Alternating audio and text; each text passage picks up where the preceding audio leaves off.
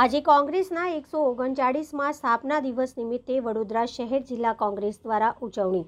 ભારતની સ્વતંત્રતા પછી ઓગણીસો સુડતાલીસમાં કોંગ્રેસે ભારતની કેન્દ્ર સરકાર અને એક ક્ષેત્રીય રાજ્ય સરકારો બનાવ્યા. ભારતીય રાષ્ટ્રીય કોંગ્રેસ પોતાના એકસો આડત્રીસ વર્ષ પૂર્ણ કરી. ભારતીય રાષ્ટ્રીય કોંગ્રેસના પ્રમુખ મલ્લિકાર્જુન ખડગજીના પ્રેરક નેતૃત્વમાં એકસો ઓગણચાળીસમાં વર્ષમાં પ્રવેશ કરવા જઈ રહ્યું છે ત્યારે કોંગ્રેસ પક્ષના સ્થાપના દિવસ વડોદરા શહેરના જિલ્લા કોંગ્રેસ સમિતિના લકડી પુલ દાંડિયા બજાર ખાતે ધ્વજ ફરકાવવામાં આવ્યો.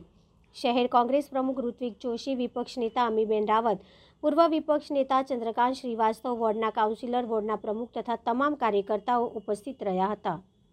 ભારતીય રાષ્ટ્રીય કોંગ્રેસના એકસો ઓગણચાલીસમાં સ્થાપના દિવસ નિમિત્તે કોંગ્રેસ પાર્ટીના આગેવાનો, કાર્યકર્તાઓ આજે અહીંયા ભેગા થઈને એકબીજાને શુભેચ્છા આપી રહ્યા છે. એકસો આડત્રીસ વર્ષનો કોંગ્રેસનો સંઘર્ષ આ દેશની આઝાદી પહેલાં અને આઝાદી બાદ દેશ કોંગ્રેસે બનાવ્યો, બંધારણ કોંગ્રેસે આપ્યું અને આ દેશમાં જ્યારે ટાંકણી પણ નથી બની ત્યારે પંડિત જવાહરલાલ નહેરુ પ્રધાનમંત્રી બન્યા. ત્યારે આપણે જેટલું પણ નરી આંખે જોઈ શકીએ છીએ, આ કોંગ્રેસ પાર્ટીની દેન છે. આજે આ દેશમાં બીજી આઝાદીની લડાઈ લડવાની શરૂઆત થઈ રહી છે કારણ કે લોકશાહીનું ખૂન થઈ રહ્યું છે.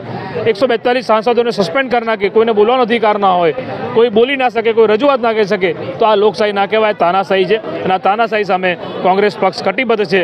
અને આજે સ્થાપના દિવસે પ્રતિજ્ઞા લઈએ છીએ કે પ્રજાના પ્રશ્નોને વાચા આપીને આવનારા દિવસમાં લોકોમાં જાગૃતિ લાવવાનું પણ કામ કરીશું. આપના માધ્યમથી તમામ નગરજનોને પણ કોંગ્રેસના સ્થાપના દિવસની ખૂબ ખૂબ શુભેચ્છા પાઠવું છું. વિશ્વની સૌથી જૂની પાર્ટી કોંગ્રેસ પાર્ટી એકસો આડત્રીસનું વર્ષ પૂર્ણ કર્યા. જે ઓગણચાલીસમાં સ્થાપના દિવસે કોંગ્રેસ પક્ષ દ્વારા ધ્વજવંદન કરવામાં આવ્યું છે. કોંગ્રેસની સ્થાપના એટીન એટી ફાઇવમાં ભારતની આઝાદીના ઉદ્દેશમાં રાખવા શરૂઆત કરી હતી. નાગરિકોના હક સાથે લડ, હક માટે લડવાની નાના નાના રિફોર્મ્સથી શરૂઆત કરીને સંપૂર્ણ સ્વરાજની વાત થઈ. મીઠા સોલ્ટ ટેક્સના કાયદા માટે Dandi કૂચને non violence non cooperation non વાયલન્સના principle ઉપર નોન કોઓપરેશન મૂવમેન્ટ અને આખરે ભારત દેશને આઝાદીમાં મહત્ત્વપૂર્ણ ફાળો જે કોંગ્રેસ પક્ષે આપ્યો, એ પાર્ટીના સિપાહી હોવાનો અમને ગર્વ છે.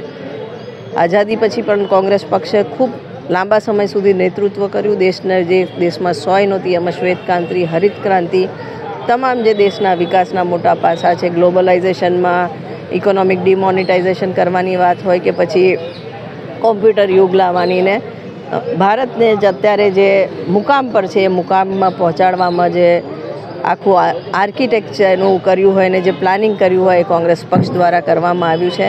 અને અમને ગર્વ છે કે અમારી પાર્ટી હંમેશા દેશના વિકાસ માટે તમામને સમાન અધિકાર મળે એના માટે ચિંતિત હોય છે. પાર્ટીના જે બી કાર્યક્રમો હોય છે, તેને દેશની પ્રગતિને ધ્યાનમાં રાખીને એકોર્ડિંગલી પ્લાન કરીને દેશ આગળ જાય છે. અત્યારે દેશ ખૂબ મોટા સંકટમાં છે. અત્યારે જે રીતના નફરતની રાજનીતિ થઈ રહી છે, ત્યારે ફરીવાર ભારત જોડો યાત્રા થકી રાહુલજીએ દેશમાં એક પ્રેમની દુકાન ખોલવાનો શરૂઆત કરી છે. ફરીથી હવે આગળના, આગલા દિવસોમાં બી ન્યાય યાત્રા શરૂ કરી અને ઈસ્ટથી લઈને વેસ્ટ સુધી ભારતમાં ન્યાય યાત્રા શરૂઆત કરવામાં જઈ રહ્યા છે. ત્યારે કોંગ્રેસ પક્ષ હંમેશા દેશવાસીઓને એક સૈનિક તરીકે દેશના વિકાસ માટે જે અમારાથી થાય એ લેવાનું આજે પ્રણ કરીએ છીએ